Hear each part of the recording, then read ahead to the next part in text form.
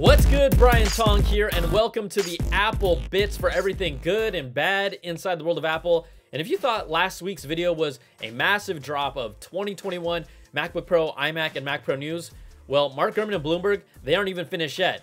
And also, if you like my videos or you just like staring into my dreamy eyes, give me that thumbs up, subs up, and hit that notification bell, ding, for more videos like this every week. All right, let's get into it. And we've heard all the reports for a 14 and 16-inch MacBook Pro models, a new M1X or M2 processor, whatever they call it, an improved display, the return of MagSafe, the potential removal of the touch bar, and even more ports. Well, it's going to get even better if you're a longtime user because Gurman now reports Apple is planning to bring back the SD card slot for the next MacBook Pro. This is going to allow us to pop in memory cards from digital cameras directly into them. A feature that was removed for no good reason back in 2016. And you know what I got to say about that? You uh, might want to take your headphones out for this. Boop. We don't need a dongle!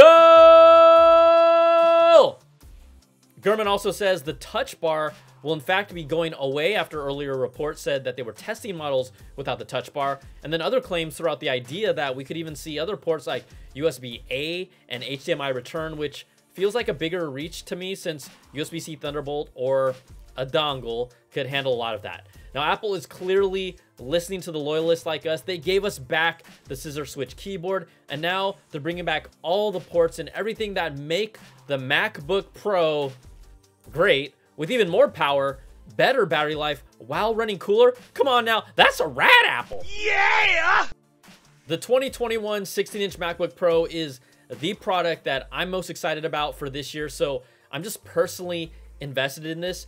And if you think about, you know, Apple's obsession of how their products kept on getting thinner and thinner, it was obviously directly related to Jony Ive's obsession about making these things as thin as possible. We know that, look, it helped push the Apple aesthetic like no other has. But then it also frustrated so many pros because it took away so much functionality. To me, it really feels like the return of the Mac.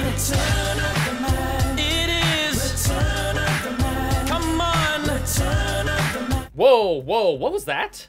I mean, that was weird. Hmm. But there's still more to talk about. This time, it's the MacBook Air. Bloomberg's Mark Gurman says Apple is working on an even thinner and lighter version of the Air, and the plans are for it to be released sometime during the second half of this year at the earliest or in 2022. And they can absolutely make this thing thinner, even if it's already thin enough to cut an Apple. But they can. That's thanks to the new M1 chip that also requires no fan in the current MacBook Air, and it will bring MagSafe as a standalone charging port, which is a big push for all of Apple's portables this year, and it will also rest next to the two USB-C ports. Now, the screen size will remain 13 inches, but Apple has talked about making its size smaller by shrinking the border around the screen even juicier. The report says that Apple considered building a 15-inch version of this new MacBook Air, but then decided against it. And you know, that's probably because they realized they'd make a bigger chunk of money by having you jump up to the higher price 16 inch MacBook Pro if you want a larger screen.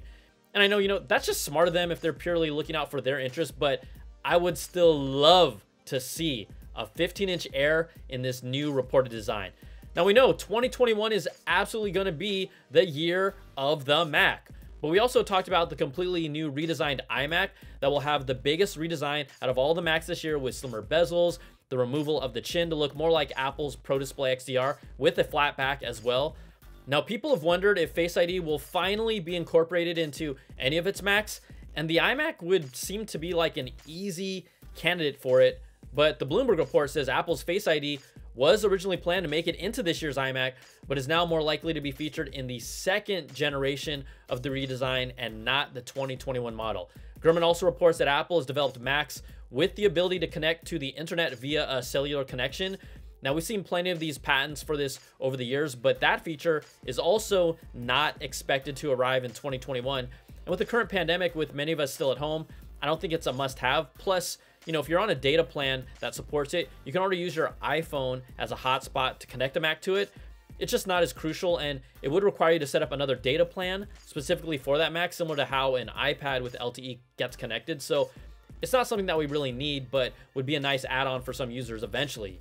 Because believe it or not, there are MacBook Pro owners that don't use an iPhone. I know, sounds crazy, huh? Now, if you're excited about Apple's rumored Apple glasses, you might want to uh, lower those expectations some. According to Bloomberg, who has provided us with so much content to talk about over the past two weeks, and big props to Mark Gurman's reporting, Apple's first AR VR headset will be a mostly virtual reality device that will include a 3D digital environment for gaming, watching videos, and communicating according to the report. Now, AR functionality will be more limited, so it sounds like VR is really more the focus here, and Apple plans to launch it as soon as 2022.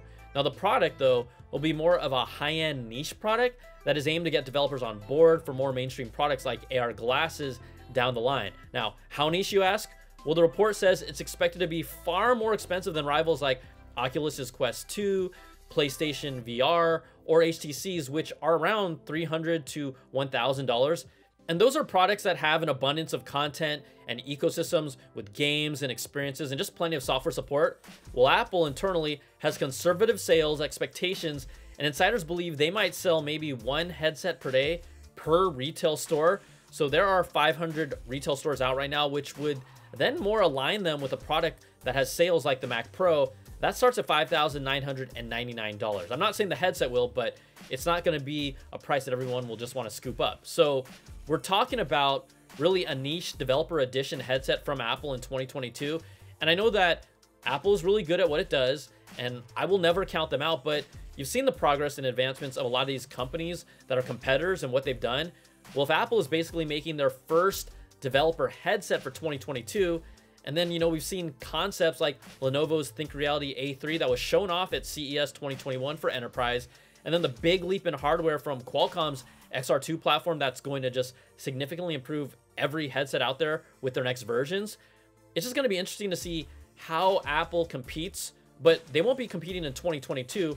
We're talking about more like 2023 or even 2024. And if they have a finished consumer product by then, what will they be up against at that point? Because we know Apple always has the power of the ecosystem, but a VR ecosystem, that's totally different. And that ecosystem, it hasn't made a significant change or impact for something like their HomePod business, even with the HomePod Mini. Now, we've all heard the reports and the stories about this idea of an Apple car. Well, you know, that's still down the uh, the road, at least three to five years away. It could be even longer. And Tesla and other manufacturers, they'll be so much more advanced by then. So I'm always curious about what Apple will be doing outside of their core products because none of these are guaranteed home runs. But you know, like all of us will be watching what they do. All right, that's going to do it for this video. You know, you can always like and subscribe if you haven't done that already, but you can also check out more if you want to get really dig deep inside. The Apple Bits XL is my audio podcast where we break it all down with these stories and more every week. And then all my content is independent. You can support my videos and my podcast at patreon.com slash Brian Tong. You get benefits, early access to it, and a completely ad-free version of the podcast. So thanks so much for watching and supporting. I'll see you soon. Take care and be safe. Peace and love.